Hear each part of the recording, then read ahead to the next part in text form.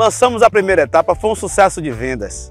E agora eu venho lhe apresentar a segunda etapa desse lindo paraíso que é o Alphaville Guarajuba.